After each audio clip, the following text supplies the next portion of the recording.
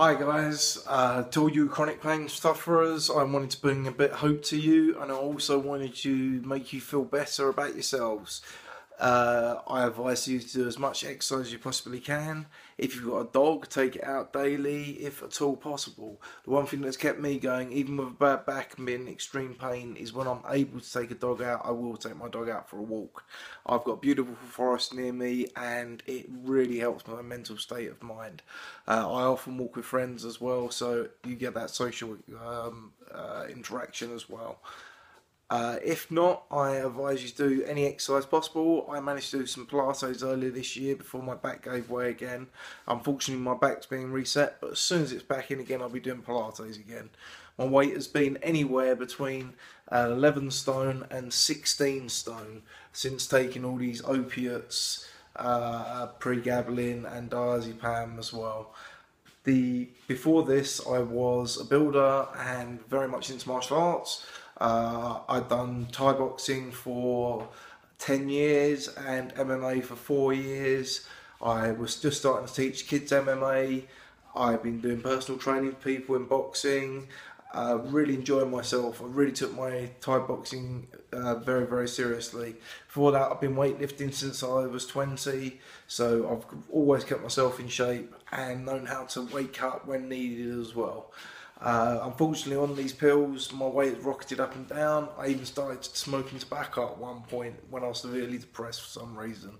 I gave that up at New Year's, just stopping it dead, realizing what a bad move that was. It was self punishment, basically.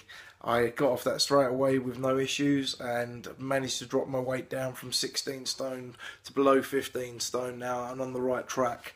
When I was beginning to do Pilates earlier on this year before my back gave way, my weight was even dropping below that and was uh, getting below 14 and a half stone. I think I would now be on track to be about 13 stone if I'd been able to keep up with it. Uh, but be back at that Pilates soon. Uh, I want all of you in chronic pain to just just bear in mind, do what you can. You pick your things that you can do. If you hurt from it, then you've learned the lesson. Don't do it again. Don't try to climb too bigger mountains. I wouldn't go to an MMA class now because I know uh, it's not possible for me to do.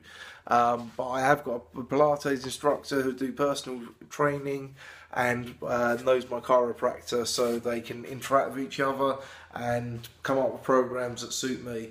Uh, this is very important. You need to get yourself good chiropractor and a good team for recovery the NHS in this country just really don't provide a good team for you. If you get a good NHS physio, you're very, very lucky. Most of the time, they won't actually touch you. In my case, I needed my whole pelvis reset, um, and there's no way a physio was going to be able to do that. So, you know, you've really got to find the right right person for you. Uh, it took two or three osteopaths before I found the right one. I'd even used one for years and years who was very good, uh, but just said there's no way he could touch the lower disc. Uh, but eventually, I came up with a fantastic chiropractor.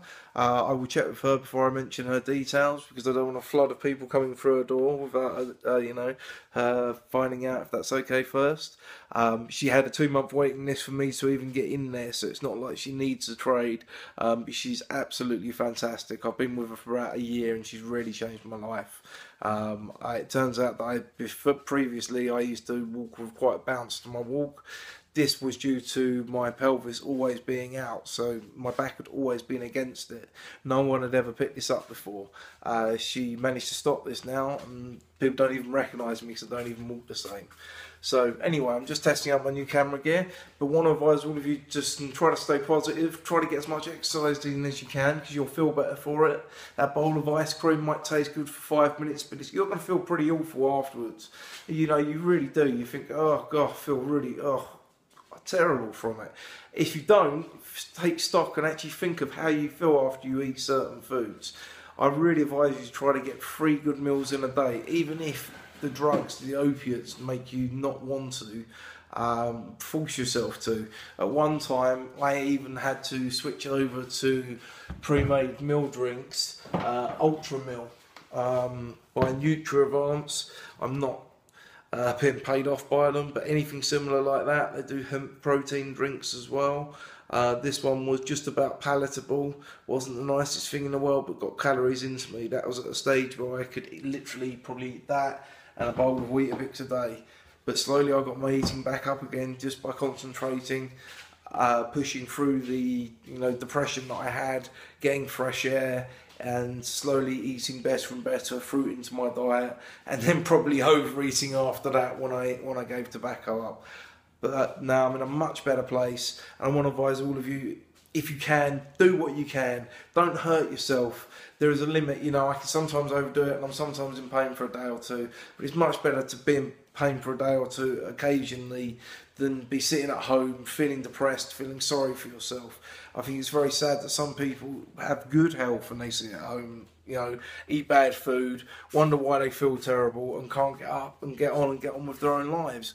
But you know that's that's their calling in life. Um, it's just very sad, if, I'm unable-bodied but still managed to push through it. And I think all of you, able-bodied or not, get out there, get as much exercise as you can, and you get going, and you will feel better about life. Anyway, that's my preaching over with for the day. I'm unable to do much myself, but I've had my walk for the day, and now this is my preaching over with for the for, for now. Uh, diazepam drop coming up tomorrow. Gearing myself up for it, getting a bit manic. I'm going to win this fight. Um, prescription drugs, I'm kicking your ass. Um, great film watched by Chris Bell called Prescription Thugs. Um, by uh, uh, basically about OxyContin and drugs like that in the US and pregabalin and diazepam, all that sort of thing that I'm on, and it just shows what a crooked industry the, the, the pharmaceutical industry is. They're producing drugs that are worse than heroin and just leaving you on them. Uh, I've slipped through the net, and I imagine that I'm one of many that has. Um, I hear there's up to 15% of people in the UK addicted to prescription drugs or some sort of over-the-counter drugs from the chemist. Uh, this just proves that's a far bigger rate of anyone addicted to crack or addicted to coke or addicted to heroin, even uh, all those figures combined. So, what destructive drugs there are, there needs to be more help out there for people.